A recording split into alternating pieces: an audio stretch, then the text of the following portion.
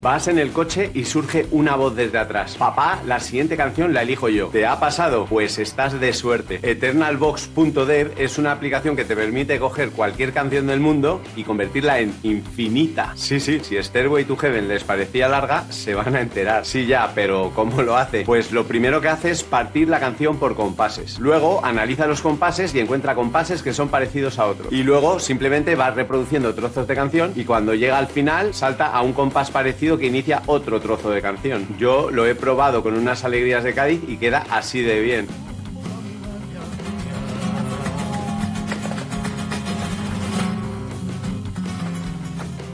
Por ejemplo, en este fragmento que has escuchado, ha saltado de la mitad de la canción a más o menos el principio. Yo no lo he notado. ¿Y tú para qué lo usarías y con qué canción? Interesante, interesante. ¿Qué pasaría si juntamos al cantante Quevedo con inteligencia artificial? Pues que puedes escuchar las canciones más populares de los últimos años en España perpetradas por Quevedo.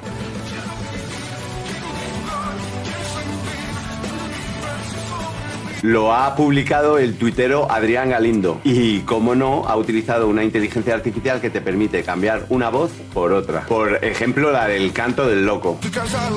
De salir de noche y ver siempre la misma gente. O pereza. Sigo buscando una sonrisa de repente en un bar. O David Bisbal. Dime tan solo una palabra te vuelva la vida y se ve que el alma.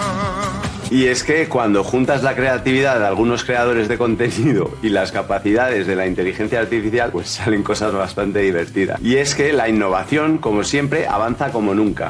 Interesante, interesante.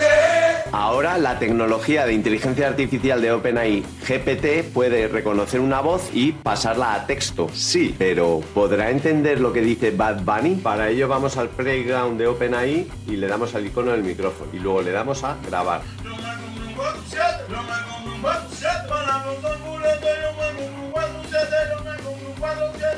¿Habrá sido la inteligencia artificial capaz de entender a este titán de la lírica? ¿Habrá sido capaz de transcribir los hermosos versos con los que nos ha deleitado? Pues no, no ha sido capaz. Se ve que es consciente de sus limitaciones y antes de transcribir una tontería lo ha dejado en blanco. Pero lo interesante de todo esto es que aparte de subir canciones de este personaje, puedes subir audios, por ejemplo, que has grabado en una reunión de trabajo. GPT te los transcribe y acto seguido le pides que te los resuma. Y sí, hay bastantes herramientas que hacen esto, pero lo interesante es que esta usa una misma interfaz que te permite transcribir el audio y hacer un resumen. Interesante, interesante. Escucha este increíble audio. No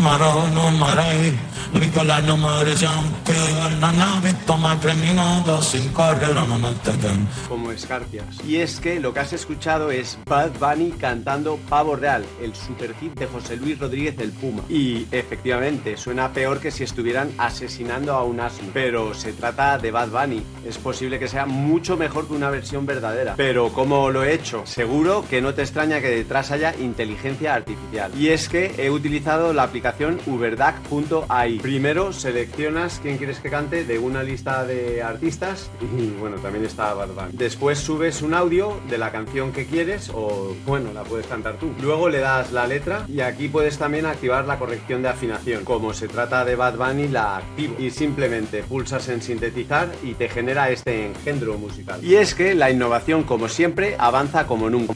Interesante, interesante. ¿Has oído hablar de las carreteras musicales? Vas circulando por ellas y el relieve hace que suene música. Oh, eso es lo que pretendían en esta carretera californiana. Pero lo que era una buena idea tuvo peor ejecución que yo intentando tocar las sardas de Monty con un ukelele. Y es que lo que debía sonar así... Suena así.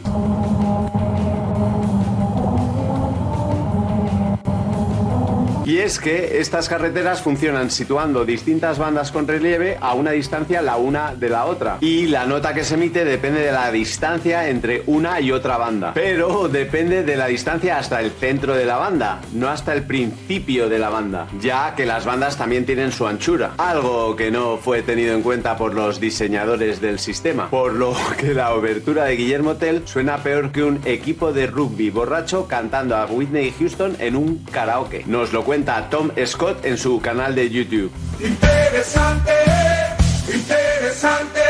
Esto que vas a ver es David Guetta utilizando inteligencia artificial para recrear la voz de Eminem en un festival. Y si David puede, nosotros podemos hacer lo mismo, pero a la española.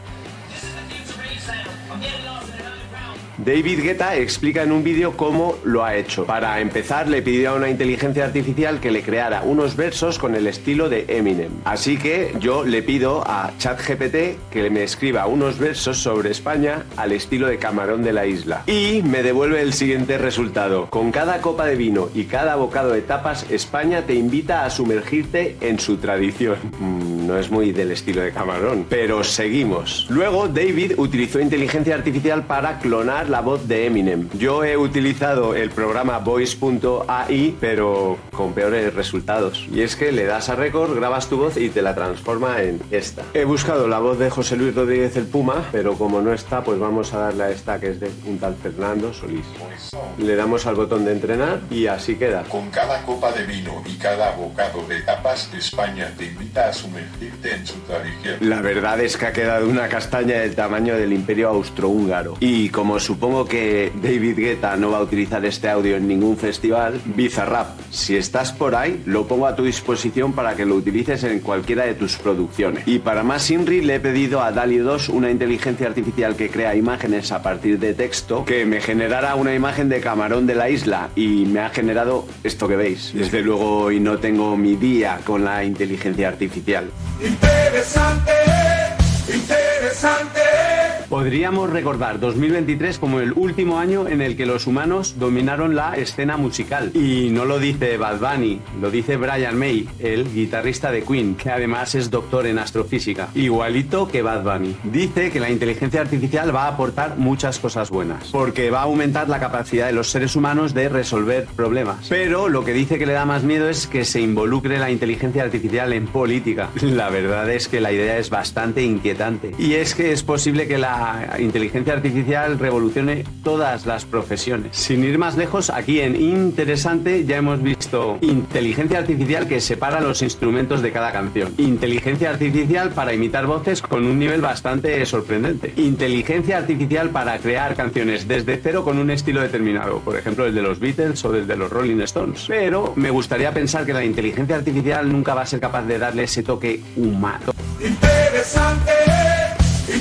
¿Por se ha montado un escándalo enorme alrededor de este rapero que tiene 10 millones de seguidores en TikTok? También tiene una audiencia mayor de medio millón de personas en Spotify. El rapero en cuestión se llama FNMK y ha sido creado con inteligencia artificial. Tanto su imagen, que es un poco inquietante, como las letras de sus canciones. El tema es que esta inteligencia artificial ha sido entrenada con letras de raperos verdaderos. Y la mayor parte de esas letras pues no son las típicas de los boleros de Armando Manzanero, sino que hablan drogas, violencia policial, armas, etc. Si a esto le sumas que este rapero ha sido creado por un hombre de negocios blanco, pues no es difícil imaginarse la que se ha liado. Al ritmo que avanza la inteligencia artificial, las situaciones como esta van a ser cada vez más comunes y la polémica está servida. ¿Tú qué piensas? Interesante, interesante.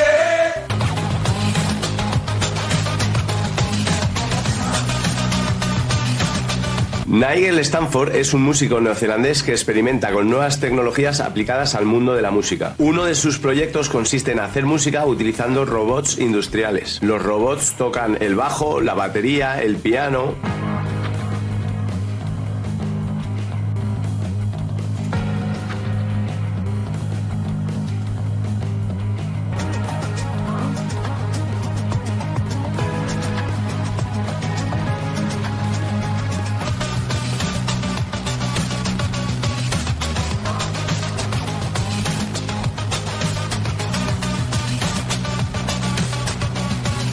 Es cierto que no creo que me lleguen a emocionar tanto como BB King en directo, pero la verdad es que es un prodigio de creatividad y uso de la tecnología. Interesante, interesante. ¿A quién no le ha pasado que estás escuchando una canción que te gusta y sigues el ritmo pegando golpes en las piernas? ¿A que no te ha pasado? La empresa Drum Punch promete mejorar esta experiencia. Básicamente se trata de unas tiras de tela con sensores que te pegas en los pantalones. Luego, al golpearlas con las manos, cada una hace el sonido de una pieza de la batería. Por supuesto, lo puedes conectar a tu móvil o a un altavoz a través de Bluetooth. Parece que con una latencia bastante aceptable. Y algo que me gusta mucho, está basado en Arduino y es de código abierto. Interesante, interesante. ¿Cuántas veces escuchas una canción y en algún momento dicen la palabra yeah? Y podría hacer una canción solo juntando yeahs de distintas canciones. De lo que han hecho en el canal de YouTube Then I Run It. Y queda así de bien. Ya verás cómo reconoces algún que otro yeah.